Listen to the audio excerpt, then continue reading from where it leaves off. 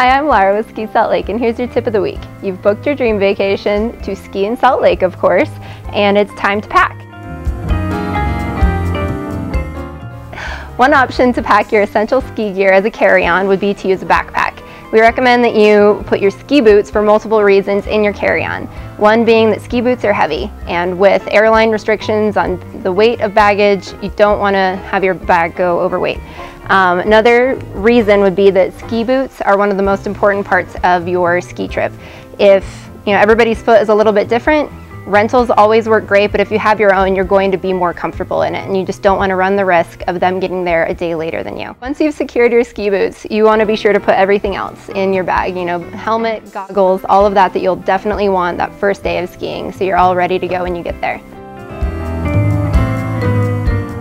When packing a more traditional boot bag, obviously boots go in the boot bag and then you'll want to put the rest of your gear in the exterior pockets like this. Um, a lot of the time there isn't room for a helmet in the traditional boot bag, but we recommend just clipping it onto the top. Now that your boot bag is packed, another tip is to wear your jacket on the plane because no matter where you're coming from, odds are it's going to be cold when you get there.